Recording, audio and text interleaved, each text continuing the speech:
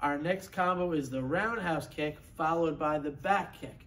So you throw your roundhouse kick, land forward, pivot, look, back kick with the other leg. So it goes one and two. From this angle, one, two.